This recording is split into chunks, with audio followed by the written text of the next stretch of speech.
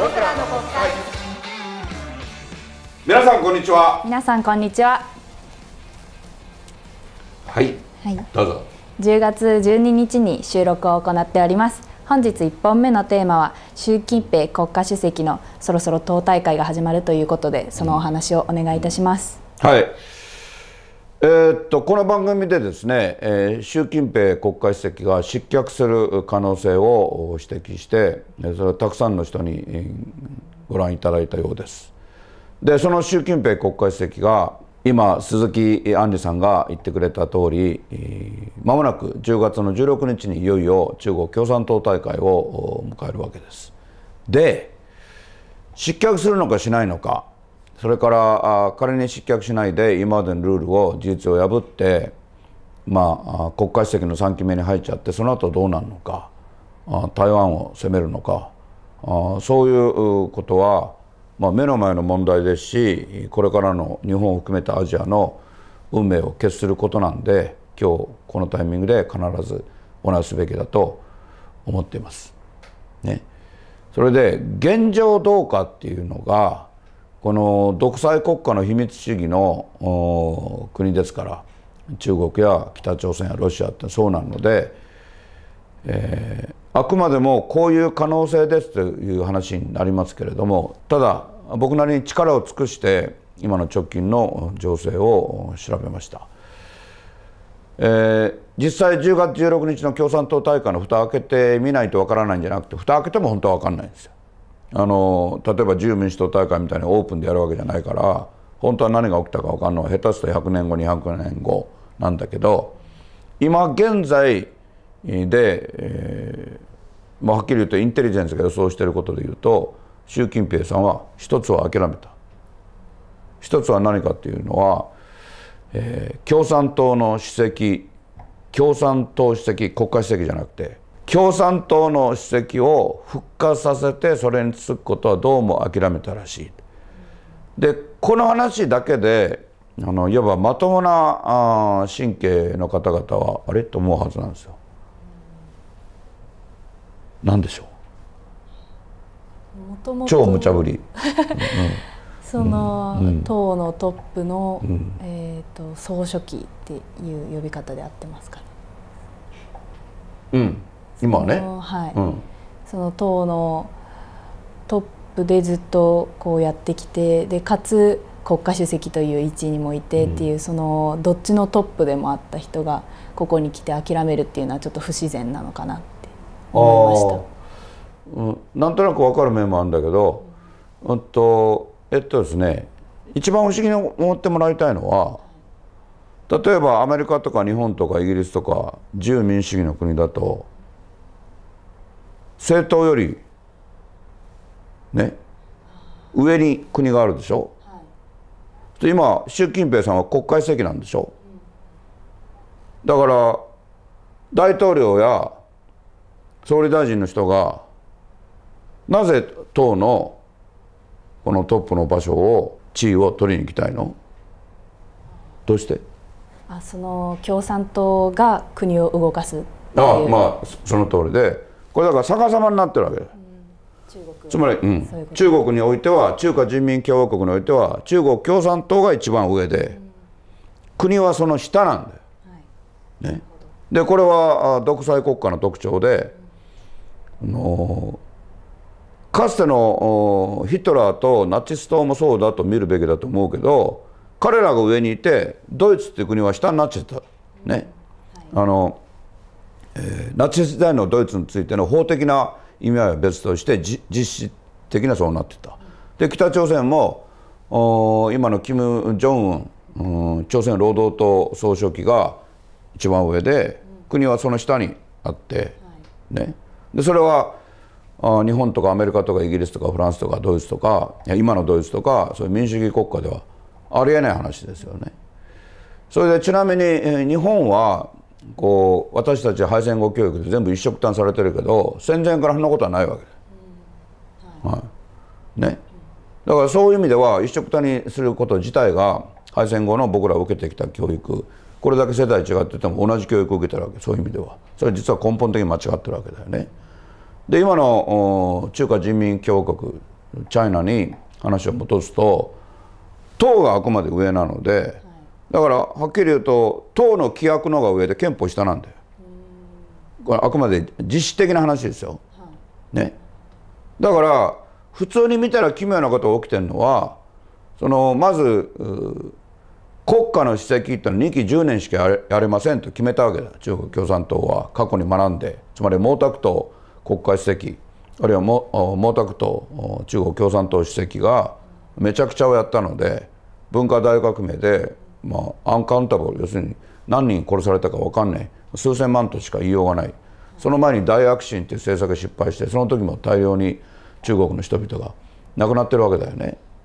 ねでもその毛沢東さんが国家の主席であり中国共産党の主席でありだから毛沢東さんに並ぼうとしたら党の主席になりたいでも今ないんだよ。というのはさっき言った通り中国共産党いろいろ反省して、えー、党の主席っていうのをやめて今廃止されてるわけ。ね。それで、えー、の個人崇拝もやめようっていうのをあの実利主義者の鄧小平さんが打ち出してその後の中国がどうなったかというと、えー、経済力で日本を抜いたわけだよね。で経済力で日本を抜いた時の国家主席の胡錦涛主席と温家宝首相のコンビは2期10年ね1期5年2期の10年の任期をちゃんと守って経済で日本を追い越したからといってそれで独裁えー、的性格もともと独裁ではあるけどその終身独裁者になろうとはしなかったのに習近平さんはそれでは不満で終身独裁者になりたいと毛沢東さんは死ぬまで主席でいたから。それで、えー、共産党主席っていう今廃止されたポストを復活させようとしてるというのまあただしこれも憶測は憶測ですシンガポールの新聞が書いたりしてえー、もう間違いないって言われたけども僕は間違いないっていうのは言い過ぎだと思う。うん、というのはね、はい、あのごく普通に考えてみたら中国共産党主席って毛沢東さん以外にもやってるわけですよ。ね、というのはかつて華国法っていう人もそれから公用法っていう人もいずれも中国共産党の主席までやってるわけ。でも例えば華国法さんって言ったらその後失脚してるわけで。だから党の主席になったら毛沢東さんと並ぶっていうものでもないのでそして、えー、党の長老たちの反発は非常に激しい党の長老って誰かというと具体的には、まあ、何人も何人もいるけれども江沢民国家主席元国家主席であったりさっき言った胡錦涛国家主席であったり胡錦涛さんの方がまだ少し若いですから。あそういう人々の発言もあってこの共産党主席っていうのに抵抗が強いさっき言った通り中国の発展の基礎を作ったのはあくまで鄧小平さんだから鄧小平さんは毛沢東時代のような個人崇拝に戻るべきじゃないっていうの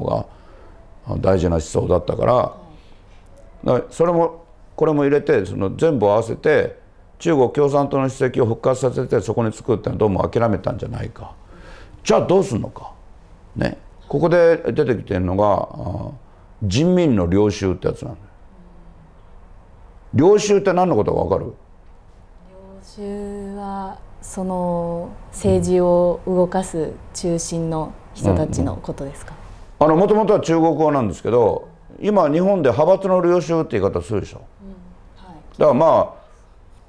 派閥の領袖って要は平たく言えば派閥のボスだよね、だから国の大ボスみたいな言い方だけどその16日の共産党大会で習近平国家主席は国家主席であると同時に国家主席のまあ日本のメディアは遠慮して異例のって言ってるけど本当はルール破りの3期目に入ると同時に人民の領袖という称号を得るんじゃないか。っていう話もね学者を中心に出てるんだけどこの人民の領袖っていう言い方はですねえー、少なくとも中国共産党でいうと8人ぐらい今まで名前が付いてるわけ、うん、もう失脚した人もそういう呼び名だったから、うん、これも多分ご本人嬉しくないんだよ。ね。そう結局どうなるかというと中国共産党の主席仮に復活させてそこについても毛沢東より上ってわけじゃない。それから人民の領袖っていういわばこう範囲を広げてね国民全部に広げて14億15億全部のトップですよ今アンリさんが言ったみたいにトップですよってやっても実は過去に失脚した人も含めて自民の領袖と呼ばれてたと。そうするとどうも地位とか称号では毛沢東さんに少なくとも並ぶことすらできない。そうすると何を考える次に？私独裁者じゃないので分かりません。それはむしろまともな神経だと思う思うけどじゃあこうしよう。このやっぱり学生インターンだからついこうあのゼミの会話みたいになるんだけどさ皆さんもまあお嫌な方もいらっしゃるでしょうがゼミに参加してるつもりでねあの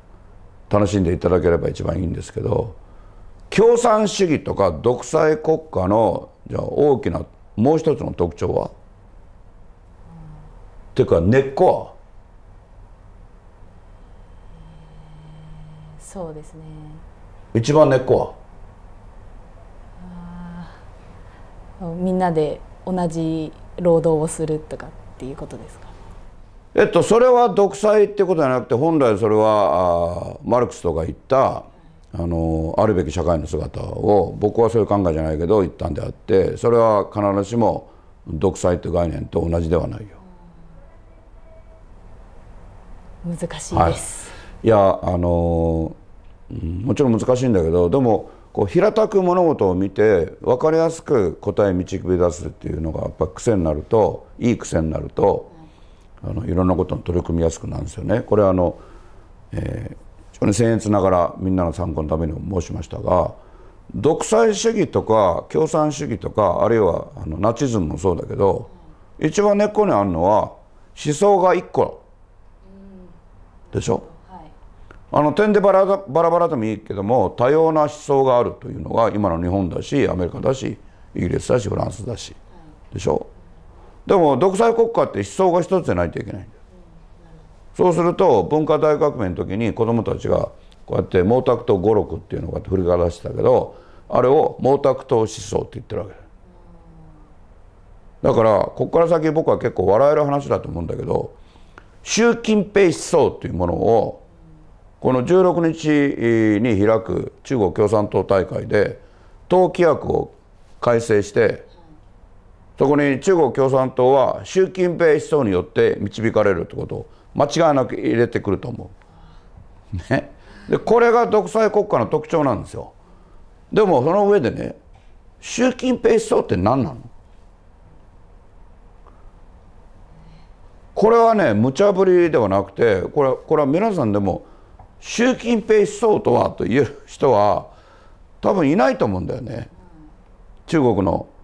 人々で無理に言わされる人を別にすると。ね、で毛沢東思想っていうのは曲がれなりもあるんですよ。それは矛盾論っていう哲学書を毛沢東さん書いててであの僕はこういろんな本を中学3年までに読んでしまったんだけどただ高校になってから教育実習でやってきた卒業生で当時東大生の純真学期の先輩がこのお昼休みかなんかにこの文庫本で毛沢東の「矛盾論」というのを読んでた。で当時僕は高校生だけど毛沢東っていうのは独裁者だとはっきり言っていいイメージなかったけどえこんな本書いてんだと思ってその先生が持ってたのに刺激されて読んでみたんだけどこれは哲学書の体裁ではある。ね、だから毛沢東思想ってそれがいい悪いは別にしてとにかくまあ現代思想史の中に一応あることあるわけだ。ところが習近平思想っていうのは一体何なのか誰も分かんなくてでこれ今までどう言ってたかというとね習近平国家主席の新時代の中国の思想って言い方をしてきたわけ。ちょっと正確に言うとね習近平による新時代の中国の特徴ある社会主義思想でこれをね正確にあの中国で今今現在もあの街中に貼り出してあるやつを、まあ、日本語訳で正確に言うとすると習近平国家主席による新時代の中国の特色ある社会主義思想。ね、ななんでこう言ってるかというとこれを習近平思想っていうふうにまあ、漢字5文字にしちゃうと長老が怒るんだよ。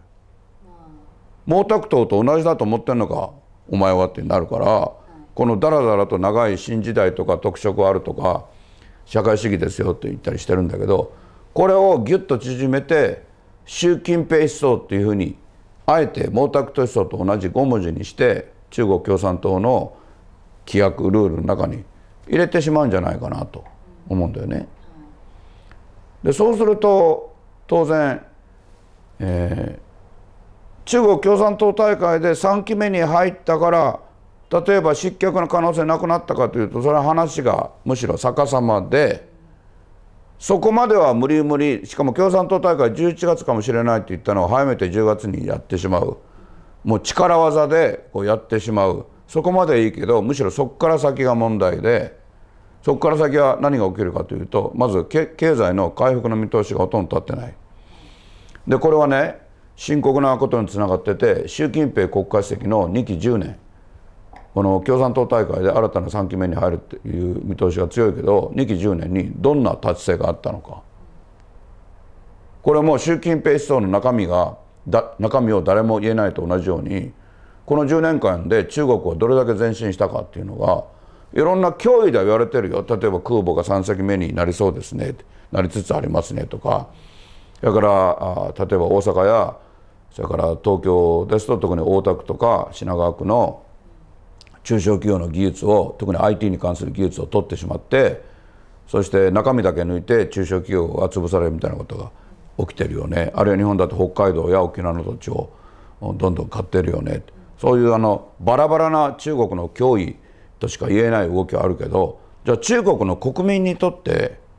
国民の幸せにとって何が達成できたのか言われるとこれはほとんど感じられないんだよ。それよりも例えば格差が一段とひどくなったりそれから前はあの高度経済成長だったけど今はこの結局習近平さんの時代に生み出したのは武漢熱だけとも言えるからその中国がいくら否定しても武漢武漢から生まれた新しい感染症であって、ね、で僕は前から言ってる通り人口の恐れがあってあくまで事故ですよ。意図的にこれをばらまいたってことはありませんありませんがこのもともとは中国の科学院っていう組織の中国武漢病毒研究所病毒っていうのは病の毒と書くけど本当は中国語の意味はウイルスそのもの。ね、でここは作った疑いがあってそこからこの世界で、まあ、ひどい災いが起きて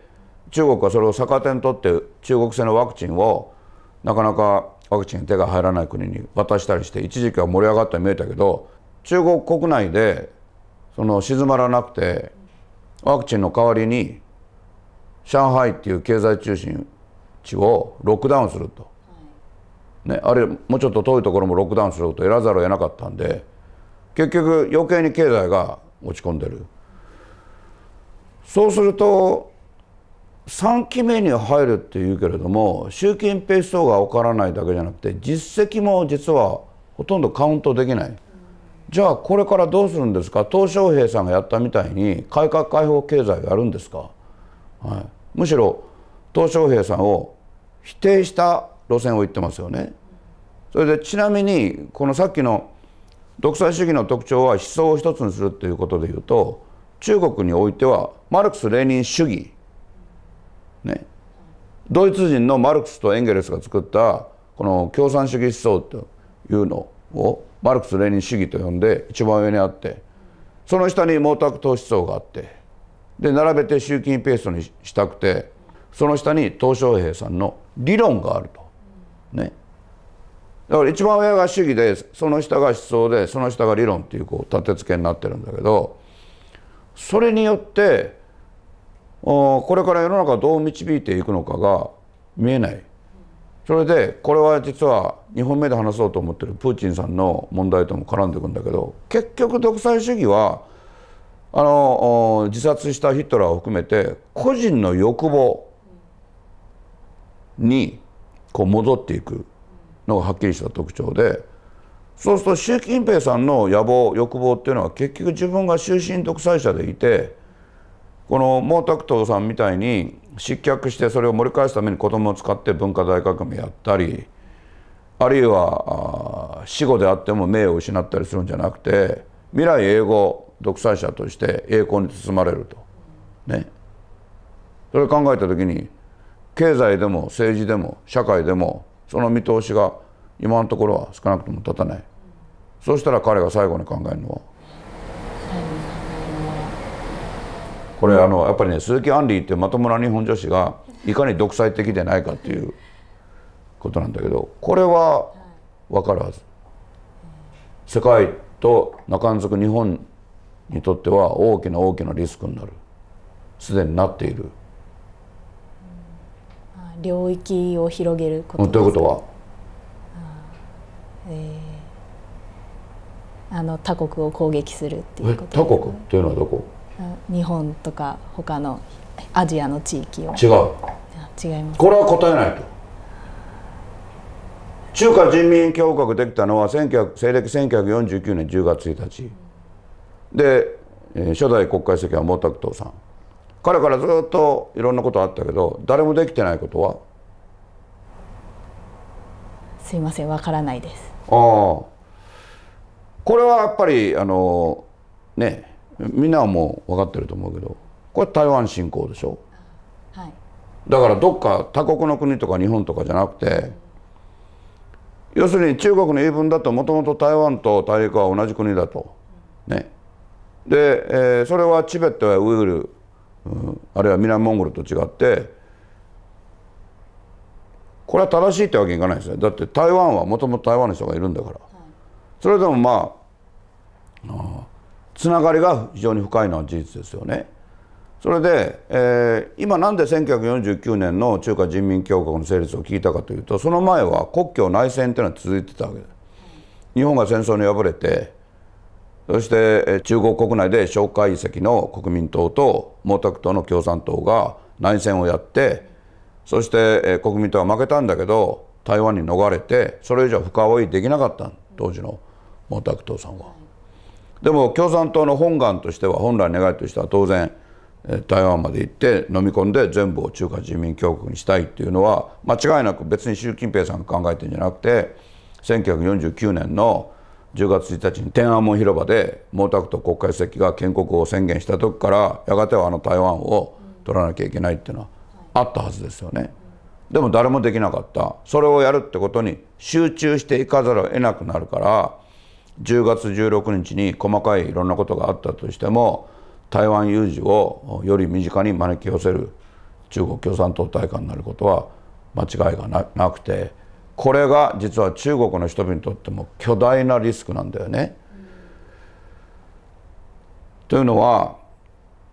あのまず台湾海峡をどうやって克服するのかと。で僕は専門家の一人としてその台湾に陸兵を入れて全部占拠しようとするんじゃなくて東沙諸島南にある東沙諸島か西にある宝庫諸島をミサイルと空爆で襲ってそして台湾の人々に、えー、凄まじい恐怖心を植え付けて総統選挙で親中派の総統に勝たせてそこから香港と同じように中国化していくということをやるだろうと思ってるけれども実は、まあ、詳しくは言えませんが日米とも、うん、いわばこの防衛に責任ある当局がいや習近平さんのもとの中国はこの陸兵を船に乗せて台湾海峡を渡らせて台湾全土の選挙に占領に踏み切ることが十分あり得ると思ってるわけ。実は台湾というのは九州ぐらいの大きさあるんで九州全土を征服するっていうのはさ大変なことで台湾も国防軍はしっかり訓練してるしそういうやり方だとこの中国はむしろ持たないんじゃないか。つまり台湾海峡を渡す時に第1波第2波と中国の青年たちがどんどん海の中に沈んでいくっていうことはウクライナ戦争と全然違ってこれ十分にあり得ることなんでそれやってる間に中国は要するに共産党支配も瓦解してしまうんじゃないかっていうのは長老でなくてもみんな考えるわけですよね。でも実は習近平さんが終身独裁者でいようとしたらやっぱり台湾のことを避けて通れるはずがないのでそれで、え、台湾もあえてこのリスクを冒してアメリカのペロシ下院議長を呼んででペロシさんがそれに乗っかってこのアメリカがこうスポッと足を抜いたりしないように中国は核で脅したとしてもそれを克服できるようにやったっていうのは本当の姿でそれに対して習近平さんは軍の手の内をさらして台湾を囲む作戦を展開してしまって日米にとっては随分これで情報が分かった天津さええー、習近平国家主席の間違いなく命によって史上初めて弾道ミサイルを沖縄県内の波照間島とそれから与那国島の目の前に撃ち込んだ。ね、でこれを考えるとその独裁者個人の欲望のためにこの自国自体も非常に危機に瀕していってるっていうのが間違いなく、えー、習近平さんの今のこういうこうだんだんとんがっていってる運命なんですよ。でしたがってずいぶん前の動画で僕は予言した習近平さんはいずれ失脚するって予言は何も変わってないんです。このままそのうまく安定してるしていくっていうのが例えば同じ独裁権力であっても例えば鄧小平さんはいいことだけじゃなくて天安門広場で自国民を虐殺したのも鄧小平さんですよ。その意味では全く独裁者なんだけれどもしかしああいうやり方だとこう未来がイメージできるけど今の習近平国家主席やそれからこの後やるプーチン大統領のような要するにヒトラー型のあの独裁者だとつまり個人の野望欲望に突き動か動かされてるとそのどれほど国の人口が多くても14億15億に近いと思われる中国の人々が全体が危機に瀕していくっていうのがこの習近平体制の現実の姿ですそれで中国経済は、うん、まだ大崩壊とは言えないけれどもしかし崩壊の兆しがあちこちにあってこれあのほっとくわけにいかないんだよね。あのだからここに地球儀あるけど実際はこうギューッとちっちゃくなってもうあの横との関連がすごく濃くなってるから中国経済が壊れましたそうですか日米は関係ありませんってことは絶対ないのでもうこういう事態に備えなきゃいけないってことがはっきりしてるわけだよね。はい、でその時に襲ってきたのが円安なので実は天はなかなかまだ日本に味方してるなと円安っていうのは例えば今まで100円で作ってて海外出す時は1ドルで売ってたものが円安ってことはこれ今で言うと145円ぐらいでしょ？これざらっと150円で言うと100円で作ってたものを150円で作っちゃう。ね、コストが高くなってる。日本人の賃金も増えました。コスト高くなりました。でも外で出す時は1ドルです。同じ。だから今まで高知の安い中国は世界のサプライチェーン部品の供給も支配してたのを日本が代わりに支配できるっていうことになりかかってるわけね、でそれに気が付かないといけないです。私たち日本人は岸田総理だけじゃなくてあるいは僕ら国会議員だけじゃなくてみんなで気が付いて円安で困ってる業界もいっぱいあるんだけどもそれをお互いに助け合いながらこの円安の経済実は敗戦後少なくとも初めてだと思われる。これを生かすっていうことが、まあ、習近平さんの今後の中国共産党大会の後の運命とむしろ絡んで大事になるということだと思います。はい、はい、今日はいろいろ質問を受けて大変だったけど、はい、何でもどうぞ。はい、そうですね。その国家主席の任期をこう変えたところからもうすごく強行突破しているなっていう気がしていてやっぱりそれがその習近平国家主席の個人の野望でそれが終身ずっと主席でいることっていうのがやっぱりそこの強い野望があの垣間見えていてで実際こう実績がないのになぜあのこう3期目まで行こうとしている可能性があるのかっていうとやっぱり3期目4期目終身。はい、はい、その先まで、うん、でそれがやっぱりその台湾有事につながっていくっていう。でその台湾有事もそれが経済の実績とはやっぱり違うのでその中国国民のためになっているかっていうとやっぱり命が失われていてやっぱりそれは避けなければいけないと思いました。でまたさらにその議員がおっしゃっていたように中国経済はやっぱり日米との関わりもすごく深いのでその先がすごく気になるところです。えっとこれ例によってあの例えば三浦真美とも同じね増野優斗君とも同じ一切打ち合わせなしであってもうこの場で初めて話聞いてるんですけど、まあ、よく整理されていると思う今のね受け止めは。それでもう時間はあれですけどちょっとおまけでちっちゃいこと付け加えるとね今鈴木杏里さんが言ったそのこう2期10年を伸ばしてうんぬんって最初にやったのはね習近平さんのこう意を組んで要するにあのおべんちゃらでやる人がいるわけだよこれも独裁主義の特徴なんだけどこれは全人代ってあってね中国にそれ日本でいうと国会のことなんだけど選挙してないから実質的には国会とは言えないけど一応全国人民代表大会って言ってそこの委員長がいるんですよ。えー、これあの漢字そのまま読むと立選手っていうんだけど中国語もちょっと全然違いますよ。習近平さんはちなみに英語とか中国語だとシー・ジンピンになるんだけどこれは側近なんだよね。で憲法の話ってのはこのだから国会に当たるから全人代でやるんだけどこの人がこうリーダーシップを取ってこの国会席は2期10年待てっていう規約を削っちゃったんだよ。ね、でこうやってお追証でやることがそのお追証した相手の独裁者のためになるかというと必ずしもそうならないっていうのがこの独裁主義の大きな弱点の一つででちなみにこの独裁者にわずかながら抵抗をずっとしてきたのが李克強っていう首相なんだよね。中国は一応国家主席がいて首相がいるとねこうなってでしょ。でこの経済の詳しい政策は首相がやるってシステムのはずが李克強さんは本当のエコノミストなんだけど習近平さんに叩かれて経済がほとんどやれないでいたんだよ。ね、でそれへの抗議もあると思うけどこの人は予定通りやめるわけだ。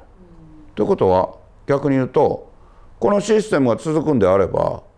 ここに首相を誰か持ってこなきゃいけない。このなり手がいないんだよ。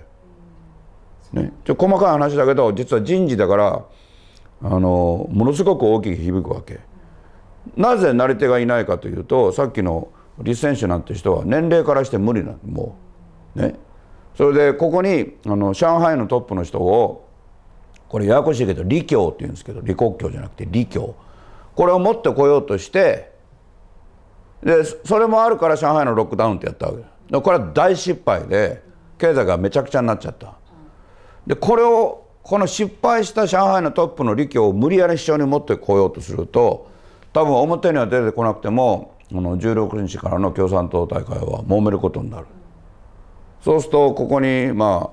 ああのどこにもするもならない首相を持ってくるのかなったら習近平さんは経済通と言えないので中国経済がまた余計にこうガクッとおかしくなるっていうのがこれはねもうあの起きつつある。首相に実はなり手がいないよね。ね。ただこのこれはまああの細かいっていうよりは非常に現場の話だけどここに一人あの習近平さんに抵抗してきた人がいるんですよ。ここに字出してもらえると思いますけど胡春華さんっていうね、えー、日本に言うと副首相ただし4人もいるんでそのうちの3番目序列は高くないんだけどこの人をもし一緒につけることができたら習近平さんも少し懐がまあ広いんだなって見せられるただしこの胡春華さんの最大の特徴は、えー、共産主義青年団略称共青団っていうところの出身なん。でこれはもう中国共産党の宿命の2つの対立で世襲なのか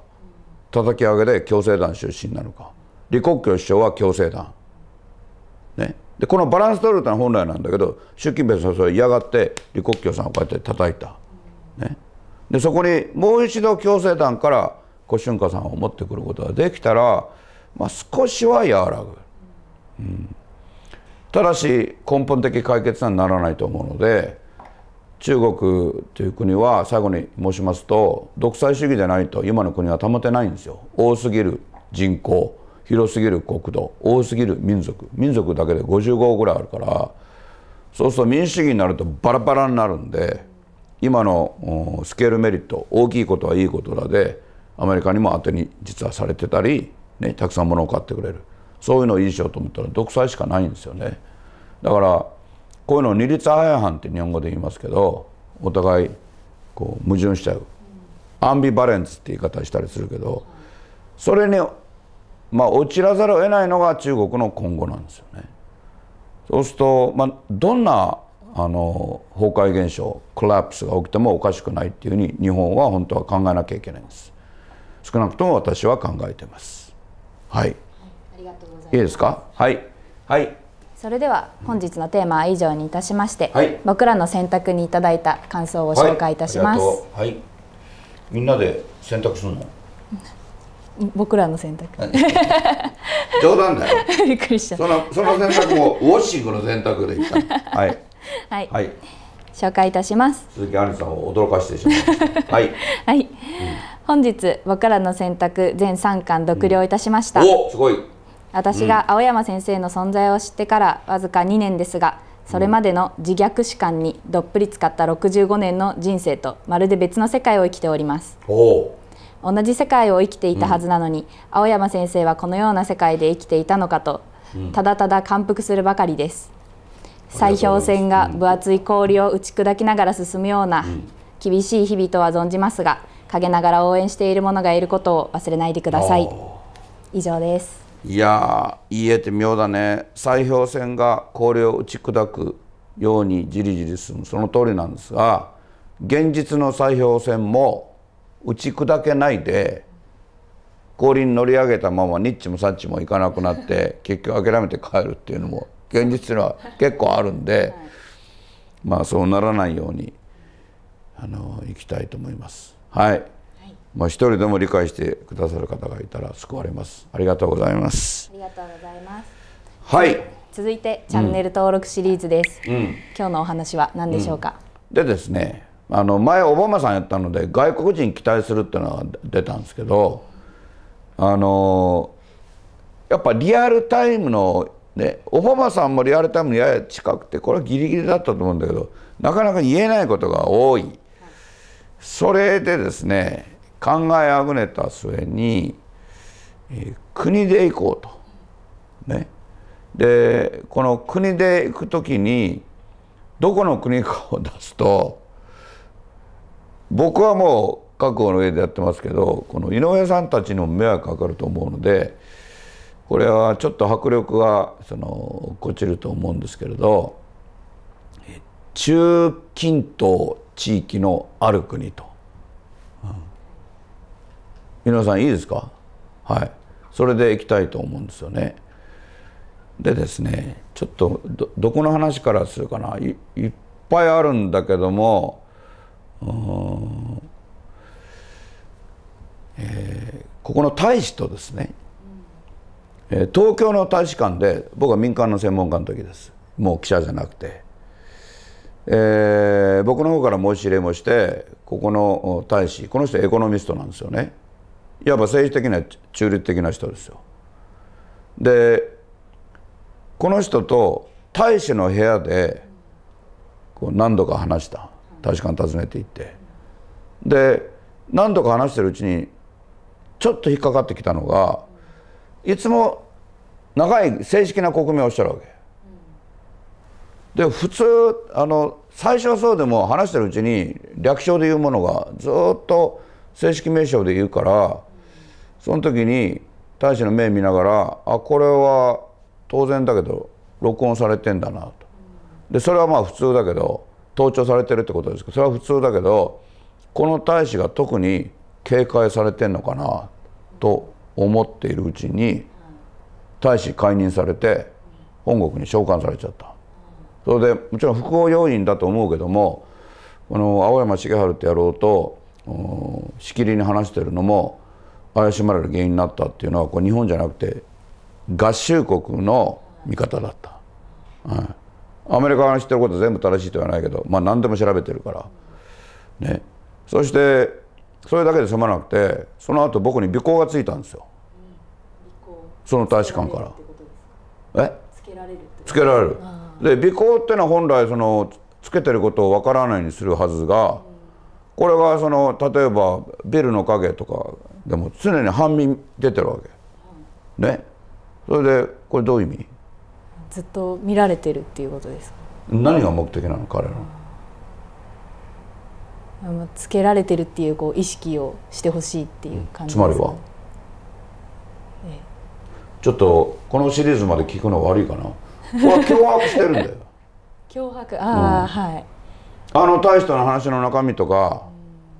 それから我が国に対していろいろ論評したりするのはするとどうなるか分かってるなっていう脅しなんだよ。それで半身で見せたりしてるから当然あのこの番組見てる方の予想つくでしょうが僕は普通に歩いてるさなかに突然くるっと振り向いて、はい、あの全力疾走で